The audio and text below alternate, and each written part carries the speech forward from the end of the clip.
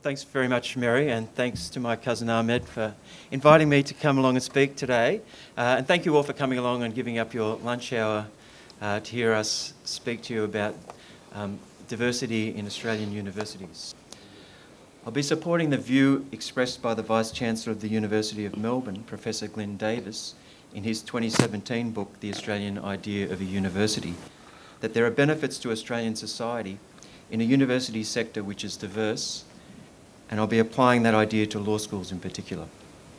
I want to talk about the risks where one worldview, particularly on moral questions, or what ought to be recognised as moral questions, on which rational persons may disagree on rational grounds, dominates the academy and the state, and to explain why a Catholic law school in particular, because it is Catholic, must be noticeably different to other law schools.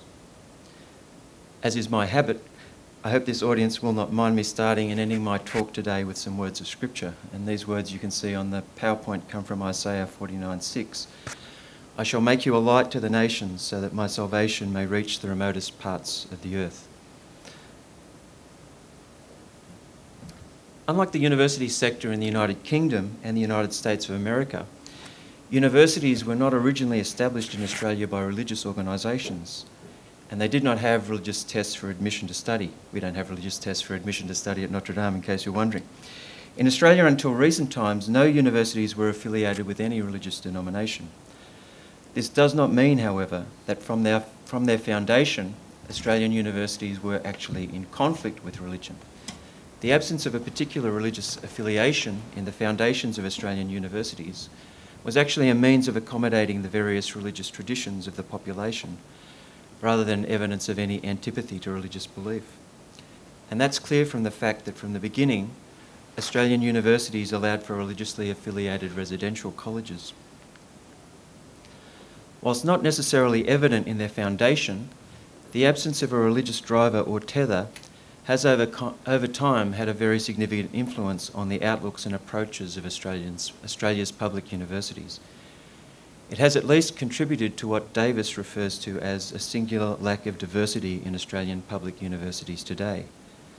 Speaking of Australia's first public university, one we've just been hearing about, the University of Sydney, in observations which might similarly be made about Australia's other public and non religious universities, Davis has observed as follows this is a quote from him.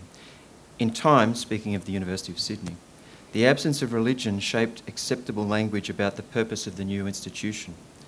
This would be a utilitarian institution befitting a pragmatic society. It was devoid of a chapel, there's at least one chapel there now. Its workaday discourse was not mantled in appeals to God. There was no evocation of campus life as resonant with moral purpose.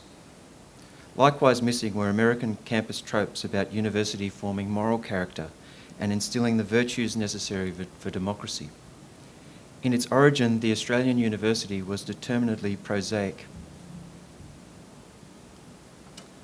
The first Catholic university in Australia was not established until 1989. In that year, the University of Notre Dame, Australia, I'll call it Notre Dame, was created by an act of the West Australian Parliament. Interestingly, that act says, amongst other things, that the university is to provide a university education in the context of Catholic faith and values. So that's an obligation that's imposed on us by the West Australian, or not imposed, but that's, a, that's an obligation which is found in the legislation which created the university. The initial campus in Fremantle was supple supplemented by a campus in Broome that Mary mentioned earlier in 1994 and our campus in Sydney in 2006. Notre Dame is a private university with about 14,000 students across the country. We have about 7,000 students studying with us in our Fremantle campus and about the same number already in our Sydney campus. We have two law schools, one in Fremantle and one in Sydney. The Australian Catholic University, I'll refer to that as ACU, opened on the 1st of January 1991. As I understand it, ACU has one law school, but it has campuses in Sydney and in Melbourne. The creation of Australia's Catholic universities coincided with St. Pope John Paul II's Apostolic Constitution on Catholic Universities, Ex Corde Ecclesiae, in 1990. Church documents take their name from the first few words of the document. So, Ex Corde Ecclesiae means in the heart of the church. It's a very rich document, and it's a document which is supposed to govern what Catholic universities do and the approach that they take. By describing Catholic universities as being in the heart of the church, St. Pope John Paul II made quite clear how important those institutions are to the church. Ex Corde Ecclesiae calls on Catholic universities and their staff to integrate the Catholic faith and reason into everything that takes place. The Catholic context should, according to Ex Corde Ecclesiae, be vitally present and operative in all learning, in all teaching, in all research that occurs, because it says Catholic ideals, attitudes, and principles must penetrate and inform university activities. Catholic academics working in a Catholic university are expressly called in that document to be faithful to, their, to the Catholic Church's tradition uh, and to be faithful to the Catholic worldview in their research and their teaching. So Catholic universities, at least if they abide by the demands of Ex Corde Ecclesiae, and that's not universally the case, I can tell you, um, but if they do, they are clearly different to other universities and clearly different to other Australian universities. Australia's public universities, by contrast, are very large institutions. They range in size from the 70,000 students at Monash to the 10,350 students at Charles Darwin, which is Australia's smallest public university. Davis describes Australia's public universities as, that's a quote from him, large, highly regulated, largely non-residential institutions offering standard degrees, linking research with teaching, stressing familiar pathways to professional standing. In his view, they are fundamentally similar. Diversity is an important characteristic of a multicultural, pluralist and multi-faith society like Australia. It is valued in workplaces and in professions alike.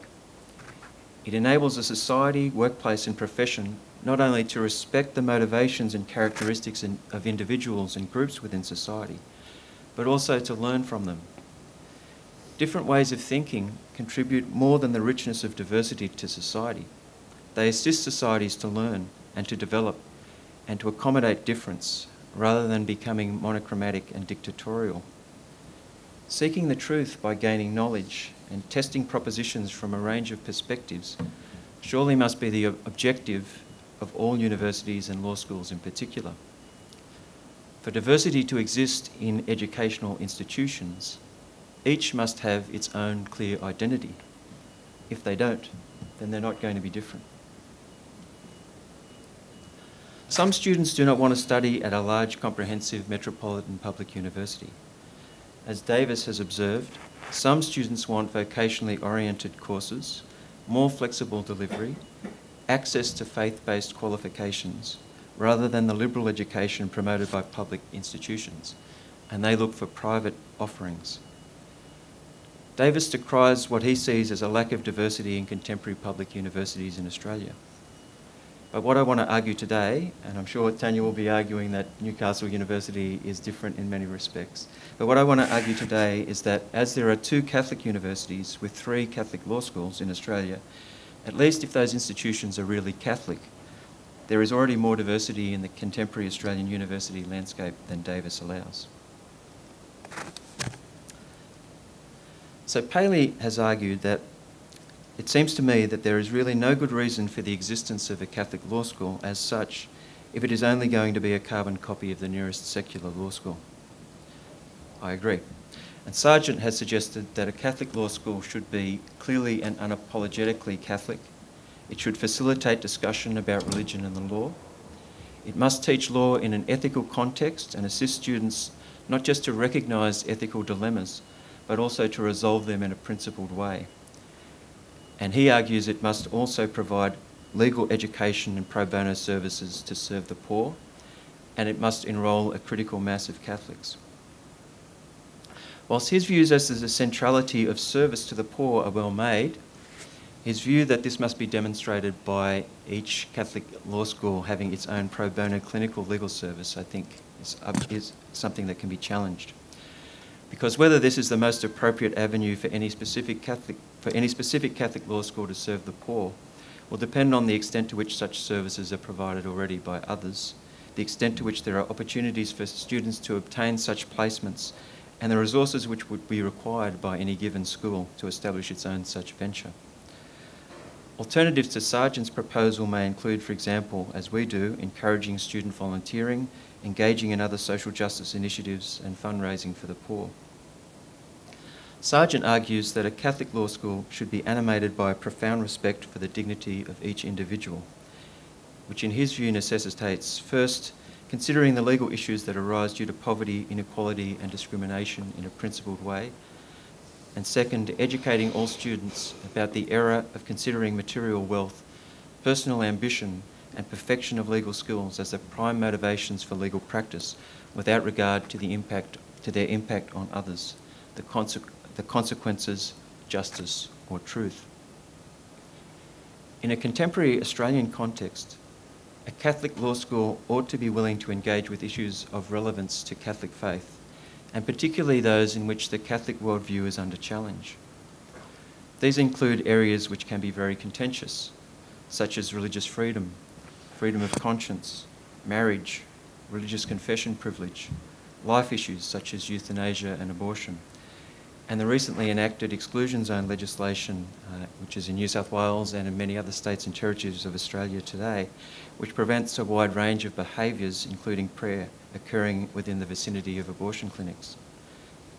A Catholic law school ought to also discuss natural law and the actual and ideal relationship between law and morality, and consider appropriate opportunities for service to the poor and of promoting them to students. In my view, Catholic law schools have a critical role to play in contemporary Australian society.